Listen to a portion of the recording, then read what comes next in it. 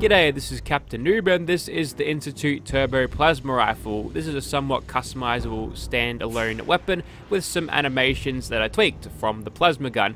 So looking over this thing's aesthetics, it seems to have the same design features as the Institute laser gun of the vanilla game, which makes this thing quite lore friendly, which is great.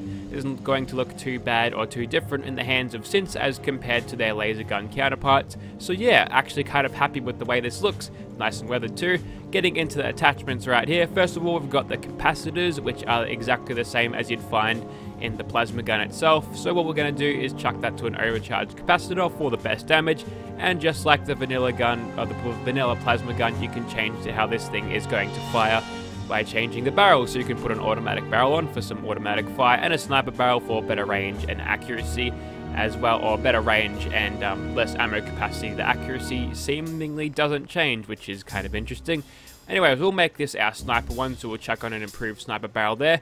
202 damage, uh, ballistic, and energy there, so we're going to be doing a respectable amount of damage. And we'll chuck on a recoil compensating stock just to get rid of some of that extra recoil, because that might interfere with our aiming. Now for the sights, the only non-scope sight is actually this reflex sight. The rest of them are either short, medium or long scopes or a night vision variant of those. And there's no recon variant which kind of sucks because I feel like recon scopes with their color and everything kind of suit the um, boxy sort of look of the Institute weapons in the vanilla game. So I'm kind of sad that they're not there, but whatever. We'll just go for a short scope because we're going to be in sort of close quarters with this thing, so we'll definitely do that. And of course, a legendary effect is there if we need it. We probably won't because this thing, 202 damage, yeah, pretty good. Okay, we'll we'll grab an automatic one though. We'll see you in Gunner's Plaza. Righto, here we are in Gunner's Plaza, and this is what our plasma gun looks like in first person. See, it's not as boxy. It kind of works pretty well. But looking at this thing in third person, as you can tell, this thing is bloody huge. So I'm actually kind of glad this thing is actually kind of um, conservative on the amount of screen space that it takes up, despite its size. Yeah, but yes, looking at it in third person, looks like a pretty decent weapon. Anyways, we'll move on from looking at the thing and we'll see it in action. Now, just like the laser guns in the vanilla game, this thing will shoot blue plasma or blue projectiles. So instead of the green plasma that we're used to seeing, it'll be shooting some nice blue ones. So we'll just wait for little Miss Gunner to run around the corner, and then we'll one-shot her with a cheeky little headshot there. And without the sneak attack criticals, we're still doing a pretty good amount of damage there, although we're going to need to watch our ammo capacity because we've only got 12 in here, just like the vanilla gun of the vanilla, uh, yes, the vanilla plasma gun of the vanilla game. Vanilla, vanilla, vanilla. So, when you actually reload this thing, what happens is that little, um, compartment over the plasma cartridge actually closes up, which is a great idea. Obviously, you don't want this that plasma cartridge being damaged and having the ammo explode whilst it's so close to your face. So yes, in terms of how this thing is designed and how much sense that it does make, that is actually a really nice touch on it. It actually would make sense that the Institute would um, sort of improve on or optimize the whole use of this weapon, improving the safety elements and everything like that, which is great. So very good weapon design there by the modders part and also the um, lore sort of implications of that. Okay, unfortunately it's like shooting basketballs with these projectiles, but that's just something that happens with the plasma gun projectiles of the vanilla game. So, despite my shitty aim, as you can tell there with the crosshairs opening up, this thing's actually got really good hip fire for a sniper type weapon. Um, just ignore my inability to actually hit anything. Okay, basic gunner goes down in one shot, no big surprise there. Anyways, looking at this thing and using it in third person there, yeah, it doesn't seem too bad. It looks a little bit unwieldy, but you know what, in the hands of some synth eradicator that you'd find out in the wasteland, I feel like this thing would be nice and intimidating enough to stop any of those pesky railroaders from trying to meddle in synth operations. Anyways, we'll move on from our sniper to our automatic. It's going to have the same sounds as the vanilla gun, so there's nothing too much to comment there other than it's actually sort of well done for just sourcing vanilla um, sounds for weapons already in the game, so sure, that's fine. As you can tell, yes, the thing closes up there too.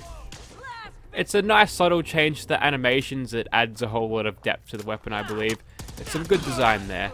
Okay, so it looks like this thing is absolutely um, yeah, okay, it can destroy everything, but we're gonna go ahead and VATS up Captain Bridget because she's got a nice damage over time gun, and we'll go for a nice crit on you. I don't think I counted three shots there. That kind of sucks. But never mind, she's dead now. And then we'll quickly hide in this room and take out this gunner. Now all the inherent um, uh, shortcomings of the plasma gun are also shortcomings of this one. Unfortunately, being a turbo plasma gun, it actually doesn't make the projectiles move any faster, which kind of sucks, but makes this weapon actually require skill to hit things, because yeah, it's not a hit scan weapon like the laser guns are, which is a nice trade-off. I like the um, less damage, more skill versus the more damage and more skill sort of thing. That's always a nice touch, it's always been with the Fallout games.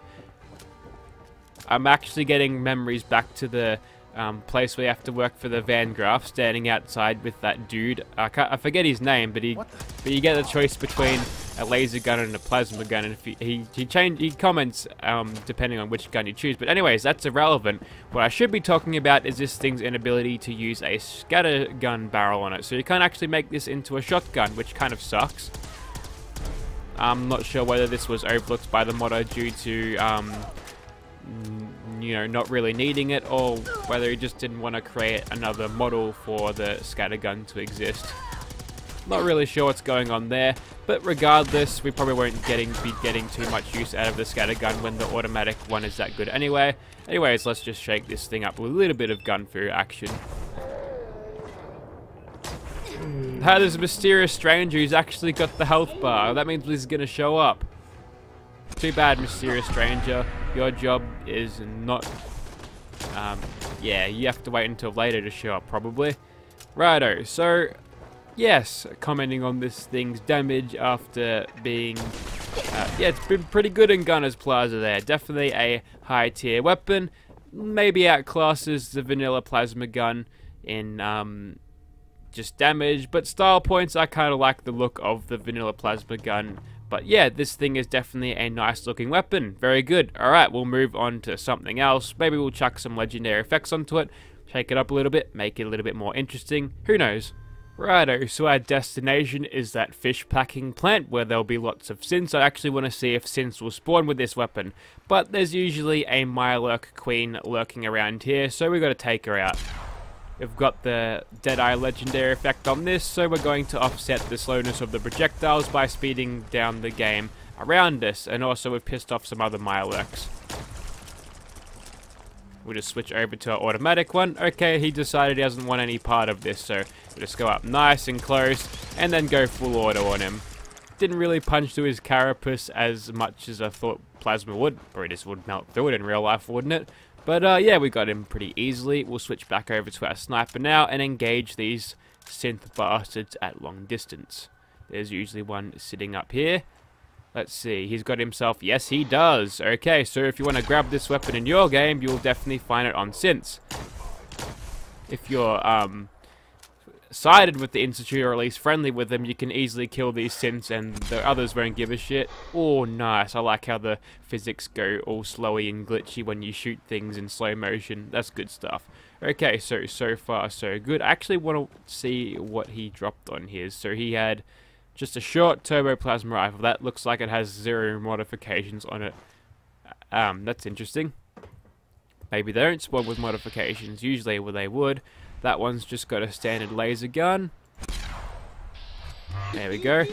Cheeky little headshot on him. Now, I'm usually expecting more to pop out soon, so maybe I should have turned on the more scripted spawns for here, because the synths aren't actually all that common here. There might be a few outside, but there's nothing too serious. In fact, was there any synth eradicators? I don't think there have been. Now, the recoil on this thing is actually quite um, controllable too, so that works pretty well. Now the Synth Seeker, he decides to put his weapon away, whatever it was, and punch me instead, which it was just a laser gun, never mind. What about you? You look like you've got some sort of plasma... Yes, yes you do. Okay, looks like we're on the receiving end of this weapon. Yes, those blue projectiles do look pretty good, and that is none, another one unmodified, judging by the prefixes there. Oh, we've got another Seeker here. That one's just got a pleb uh, vanilla laser gun. So, well, I think we're done outside here. Let's head inside and put a peg over our noses because this place probably smells like rotting fish. Also, we missed him somehow. But don't worry, we could kill him very, very easily indeed. Righto, we'll get inside. Righto, we're inside now, and did anyone watch the QuakeCon Fallout 76 thing when they were going through the little character creator there, which is very similar to Fallout 4, which I'm happy with. You can probably sculpt um, your characters to make them look like they should very, very easily. My only hope is they could make a Nora prefix so I could make a Goth again, because, you know, Goth Nora is the best character ever. Okay, looks like we've cleared out whatever was on the first floor there. I shouldn't have pressed this button because I can just fall straight down because I've got Acrobat um, legendary effects on me. So, whoops. Going down the thing now. But yes, I actually kind of liked that QuakeCon thing. It was nice to actually hear them um, go over some of the questions that were in the game. And I'm definitely still happy that I've pre-ordered it. Maybe it's probably a bad consumer practice to pre-order stuff when no information has really been given out, but ooh, that's a lucky missile launcher. He's a very lucky synth indeed. Now he's dead.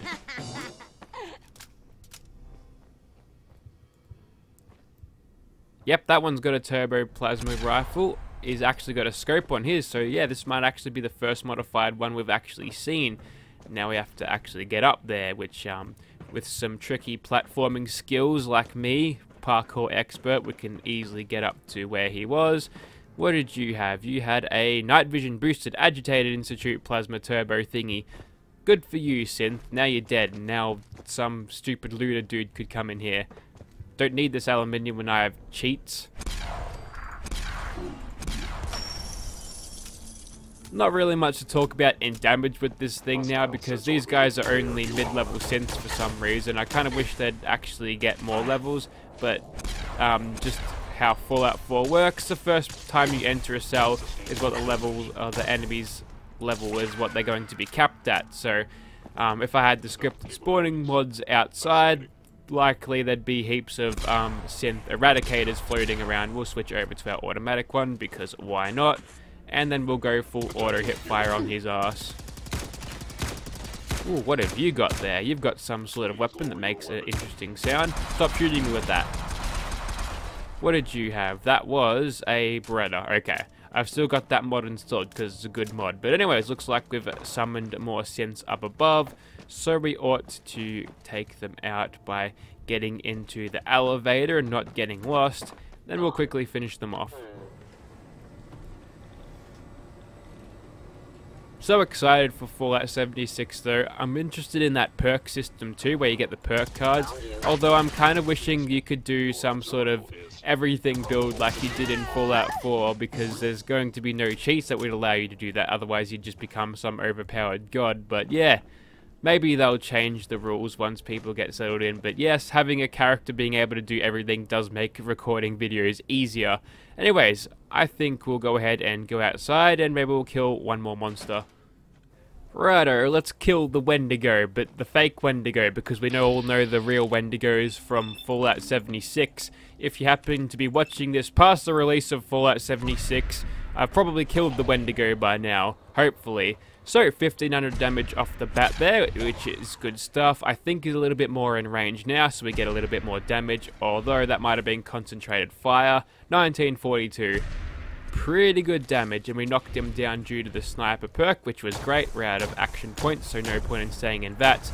And we can keep him nice and sort of um, stopped when we go ahead and hit him like that.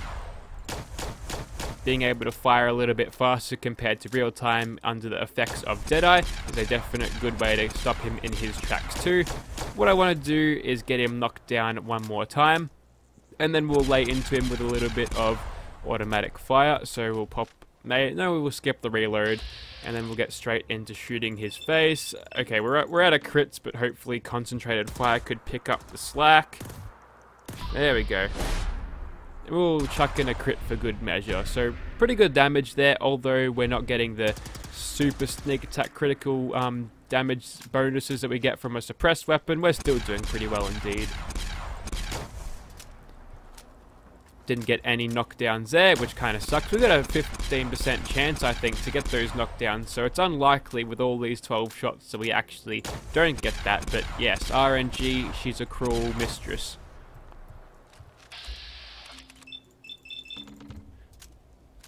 Yeah, you reload that thing in VATS.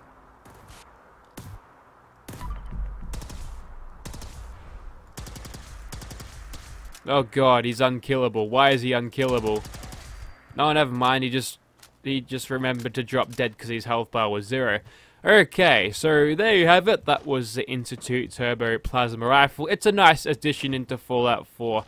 Um, it kind of sucks that the Institute weapons weren't really expanded upon other than their crappy laser rifles, which are kind of outclassed except for in rate of fire by the um, pre-war vanilla ones. But you know, they're just there for something. I, I don't really know the purpose. Maybe to give you lots of fusion cells during the um, Brotherhood quest where you go to Arcjet Systems. Never mind. So, if you'd like to see this bad boy in your game, and I do highly recommend it, it is a great weapon mod. Um, check out the description. It is sort of lightweight too, so if you haven't got a lot of hard drive space on your Xbox One, I think it's like 30 megabytes, something like that, which is pretty damn good for a nice weapon like that. If you're doing an Institute synth build, then yeah, this is the weapon for you if you like to choose your weapon mods based on your current build. So that's good stuff links in the description as well as a companion mod for this current character.